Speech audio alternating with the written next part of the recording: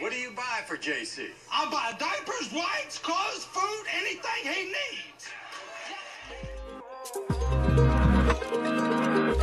needs.